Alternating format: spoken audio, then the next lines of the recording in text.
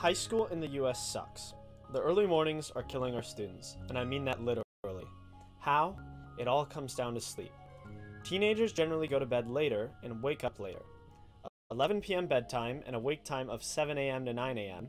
is a likely routine for a high school student. This is a biological shift, not a choice.